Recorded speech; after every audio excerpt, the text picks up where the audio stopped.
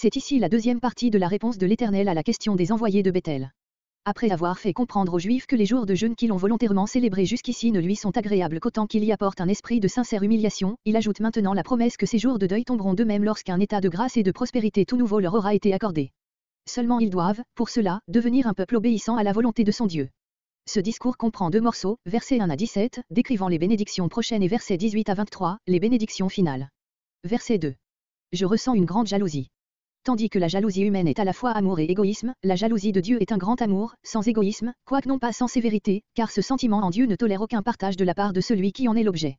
C'était cette sainte jalousie qui avait porté Dieu à punir et qui le portera encore à travailler à la purification de son peuple jusqu'à ce qu'il réponde parfaitement à son amour. Verset 3. Je suis revenu. C'est ainsi que nous croyons devoir traduire le verbe qui est au passé et non pas, comme plusieurs, je reviendrai.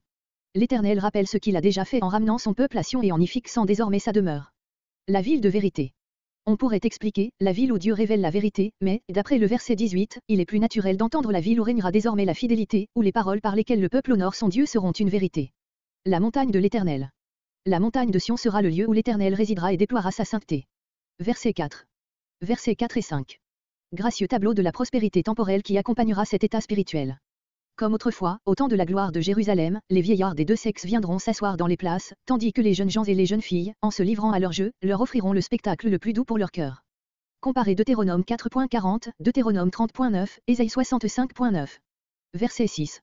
On peut expliquer ce verset comme suit, si cela est merveilleux aux yeux du reste du peuple qui subsistera alors, à mes yeux aussi cela est étrange, ce serait une manière extrêmement forte d'exprimer le caractère miraculeux de cet accomplissement final des promesses. Mais nous ne pensons pas qu'on puisse citer des paroles analogues dans la bouche de l'Éternel et l'on peut aussi traduire en prenant la phrase au sens interrogatif, comme nous l'avons fait. Ce qui étonnera Israël sera tout naturel aux yeux de Dieu, puisque, pour lui, rien n'est difficile. Verset 7. Je vais délivrer mon peuple. C'est ici la promesse du rassemblement d'Israël de tous les pays où il aura été dispersé de la terre du levant, du soleil couchant. Ces derniers mots ne s'appliquent ni à la captivité de Babylone, ni à une dispersion antérieure. La prophétie implique donc une dispersion encore à venir. Verset 8.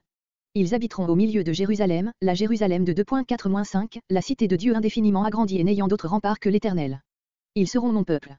Ce sera le parfait accomplissement de l'alliance conclue au commencement de l'histoire d'Israël. Jérémie 31.31 et suivant nous apprend comment ce résultat se produira. La volonté de Dieu ne sera plus écrite sur des tables de pierre seulement, mais dans les cœurs, par le Saint-Esprit. Avec vérité et justice. Dieu sera vraiment pour eux ce que signifie le titre de Dieu d'Israël et les bénira comme il est juste de sa part de bénir un peuple obéissant. Verset 9. En vue de ces bénédictions à obtenir, Israël doit poursuivre avec courage l'œuvre à laquelle il est maintenant appelé, celle de l'achèvement du temple.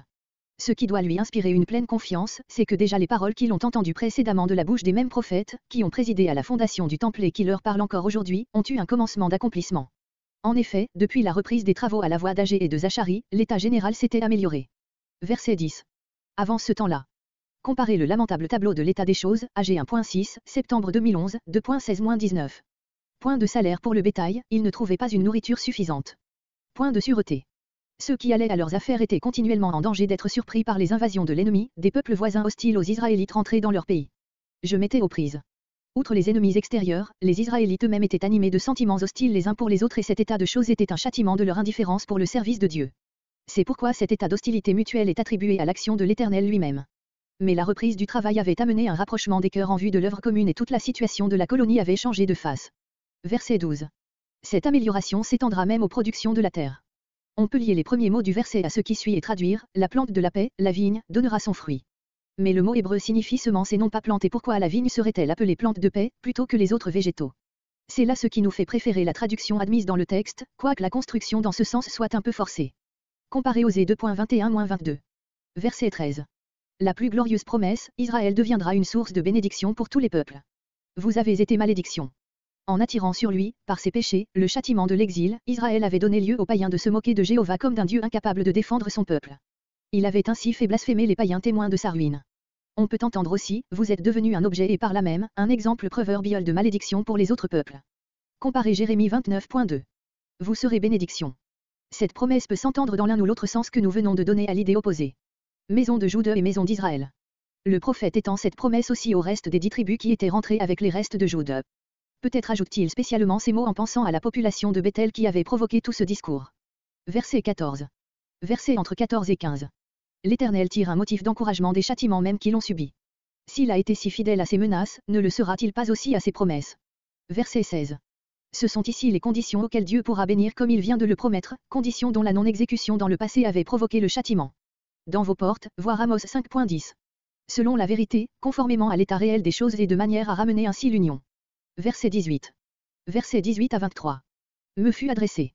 C'est la première fois que cette formule revient depuis le verset 1, ce qui indique une deuxième partie dans le discours. Verset 19. Le jeûne du quatrième mois. Voir l'introduction au chapitre 7 et 8. Ces jours même du plus grand deuil, en rappelant dans l'état nouveau ici promis les malheurs anciens, feront d'autant plus abonder l'allégresse par la comparaison du présent avec le passé. De solennité de deuil, ils deviendront ainsi de joyeuses solennités. Verset 20. Nous trouvons ici le développement de cette idée, vous serez bénédiction. Déjà plus d'une fois Zachary avait fait allusion à la conversion future des peuples païens, 2.11, 6.15. Il trace ici avec enthousiasme le tableau de cet événement futur qui comblera la gloire d'Israël pardonnée et purifiée de villes nombreuses. En hébreu, le même mot rabot qui est employé dans plusieurs circonstances relatives aux païens, comparé 2.11, dans l'hébreu, 2.15. La conversion de toutes ces nations à l'Éternel est représentée sous l'image d'un pèlerinage qu'elles font à Jérusalem, mais sans la moindre allusion au pèlerinage des Juifs pour les fêtes solennelles. C'est quelque chose de constant. Comparez une image semblable, Michée chapitre 2 et Ésaïe chapitre 4. Verset 22. De puissantes nations, de beaucoup supérieures en force à Israël, mais reconnaissant maintenant sa supériorité spirituelle. Verset 23. Le prophète passe des nations aux individus. Par cette image, saisiront le peine de la robe d'un juif, qui se lie à la précédente, celle du pèlerinage à Jérusalem, le prophète veut représenter la faim et la soif spirituelle des païens convertis et la richesse de grâce et de lumière dont seront remplis les juifs pour répondre à ses besoins. Comment ne pas penser ici à ce que dit l'apôtre Saint Paul de l'effet que produira, dans le monde des gentils, la conversion d'Israël? Ce sera, dit-il, comme une résurrection d'entre les morts, la chrétienté tout entière reprendra une nouvelle vie à ce contact avec Israël redevenu le peuple de Dieu, Romains 11.12.